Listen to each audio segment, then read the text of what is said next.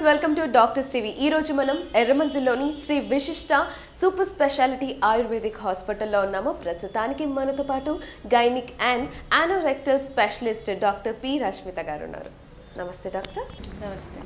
And అలాగే doctor గారు మీరు చెప్పినట్లయితే ఆయుర్వేదంలో అంటే పీరియడ్స్ టైంలో వచ్చే పింపుల్స్ ఏవైతే ఉన్నాయో అవి చాలామంది బయట ఏవేవో క్రీమ్స్ రాసేసుకొని దానికి ఇంకా కాంప్లికేటెడ్గా చేసేసుకుంటారు ఫేస్ అంతా కూడా. సో చాలా మంది అమ్మాయిలకి ఏ అమ్మాయికైనా ఫేస్ మీద చిన్న మొటిమ అంటే పింపుల్ వస్తేనే వామ్మో నాకు పింపుల్ వచ్చేసింది అంటే కాన్సన్ట్రేషన్ అంతా దానిపైన వెళ్ళిపోతుంది.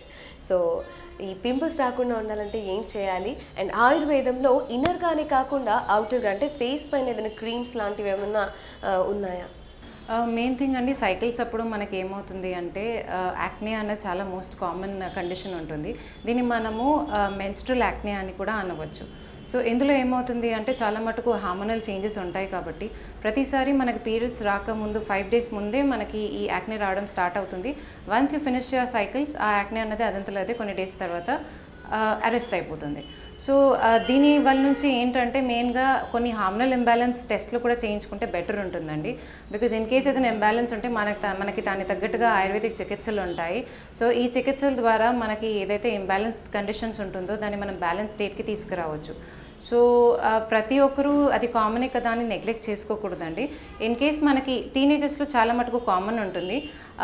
ఈవెన్ ఆఫ్టర్ టీనేజ్ లైఫ్లో కూడా మనకి స్టిల్ ఆ ప్రాబ్లం అలాగే పర్సిస్ట్ అవుతుంది అంటే బెటర్ మనకి ఇన్వెస్టిగేషన్స్ థరోగా చేయించుకొని అల్ట్రాసౌండ్ అబ్డామెన్ కానివ్వండి హార్మోనల్ టెస్ట్ కానివ్వండి బ్లడ్ టెస్ట్ ఇవన్నీ చేయించుకుంటే మనకి ఏ ప్రాబ్లం ఉందో దాని నుంచి మనకి టోటల్గా క్యూర్ అవ్వాలి అంటే మనకి ఆయుర్వేదిక్ పంచకర్మ విధానాలు ఉన్నాయి.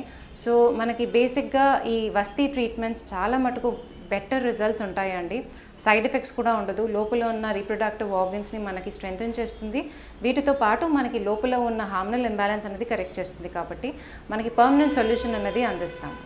ఓకే డాక్టర్ గారు అండ్ అలాగే పింపుల్స్ అనేది అంటే ఇన్నర్గా తీసుకొని అది క్లియర్ చేసుకోవడం బెస్ట్ అంటారా? లేకుంటే పై పైన మెరుగులు దిద్దుకోవడం అంటే లైక్ చాలా మంది అమ్మాయిలు క్రీమ్స్ వాడేస్తూ ఉంటారు. అలాంటిది ఏదైనా ఆయుర్వేదంలో ఉందా? అది తీసుకోవడం ఎంతవరకు కరెక్ట్ అంటారు? మోస్ట్ ఆఫ్ ద కండిషన్స్లో ఏమవుతుంది అంటే సన్ స్క్రీన్ వాడడం చాలా మటుకు ఈ మధ్య అలవాటు అయిపోయిందండి అందరికీ. అది మాత్రం చాలా హార్మ్ఫుల్ అండి. Because that is made of total chemicals కాబట్టి use of usage of sunscreen అనేది టోటల్గా స్టాప్ చేయడం అది నా అడ్వైజ్ ఉంటుంది. న్యాచురల్గా ఆయుర్వేదిక్ బేసిక్ క్రీమ్స్ ఉన్నాయి. అట్లాగే ఒక ఆయుర్వేదిక్ ఫిజిషియన్ దగ్గర అడ్వైస్ చేసుకున్న మెడిసిన్స్ తీసుకుంటే ఓరల్ మెడిసిన్స్ తీసుకో తీసుకొని దాంతో పాటు మనం ఎక్స్టర్నల్ అప్లికేషన్స్ వాడితే న్యాచురల్గా మనకు స్కిన్ గ్లో అవుతుంది మనకి ఏ పింపుల్స్ రాకుండా ఉంటుంది. వాటి వల్ల ఈ chemical based sunscreen UV UV rays తోని ప్రొటెక్షన్ ఉంటుంది అని చాలా మటుకు అడ్వర్టైజ్ చేస్తారు అవన్నీ. అవన్నీ చాలా సైడ్ ఎఫెక్ట్స్ ఇస్తాయి స్కిన్కి.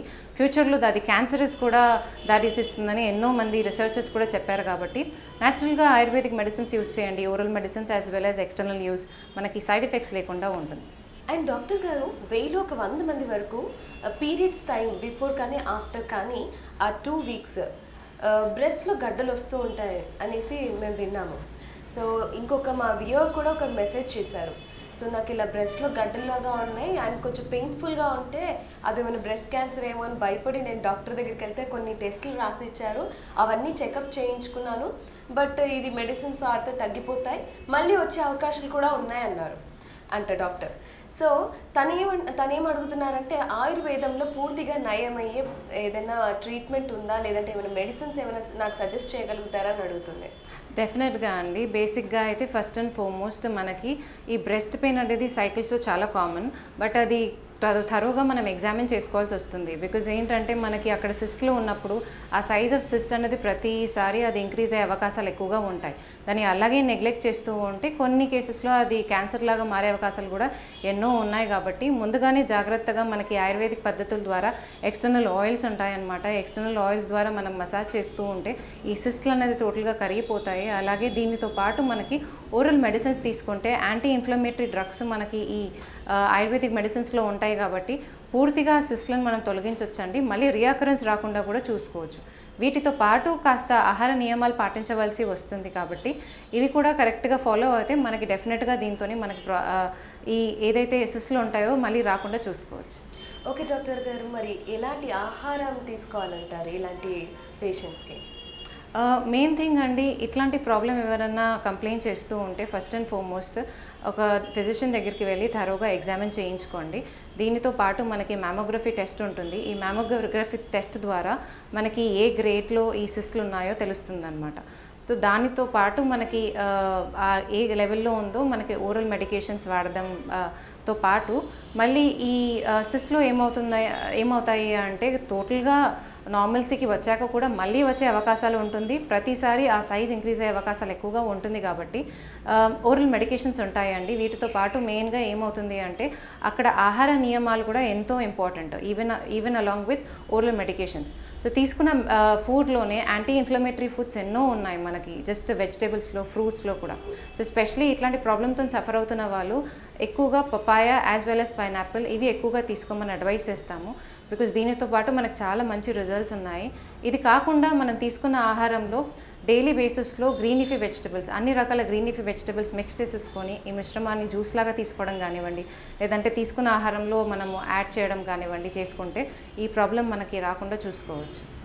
ఓకే డాక్టర్ గారు. అసలు ఈ బ్రెస్ట్లో పీరియడ్స్ టైంలో ఎందుకు గడ్డలు వస్తాయని ఒక క్వశ్చన్ ఉంది. సో దీనికి మీరు ఇచ్చే ఆన్సర్ ఏంటి? Uh, మెయిన్ థింగ్ అండి one of the most common reason can be hormonal imbalance కూడా ఉండొచ్చు. లేదంటే హెరిడిటరీ బేసిస్ కూడా ఉండొచ్చు. Ninety percent of cyst cases అన్నది మనము హెరిడిటరీ కండిషన్స్లోనే ఎక్కువగా చూడడం జరుగుతుంది కాబట్టి ఫ్యామిలీ హిస్టరీ ఏదైనా ఉంటే మీరు డెఫినెట్గా వన్స్ ఇన్ సిక్స్ మంత్స్ మాత్రం అన్ని టెస్టులు చేయించుకోవడం చాలా కంపల్సరీ అండి. ఇన్ కేస్ లేదు అంటే need not worry about it but ఎప్పటికప్పుడు ఒకవేళ ఎగ్జామిన్ సెల్ఫ్ ఎగ్జామినేషన్ చేసుకుంటే మనకి బ్రెస్ట్ ఎగ్జామినేషన్ మనకి ప్రాబ్లమాటిక్ రాకుండా ఉంటుంది ఫ్యూచర్లో ఓకే డాక్టర్ గారు thank you so much welcome మా వీడియో కనుక మీకు నచ్చినట్లయితే లైక్ చేయండి షేర్ చేయండి. మరిన్ని వీడియోస్ కోసం మా ఛానల్ని సబ్స్క్రైబ్ చేయండి.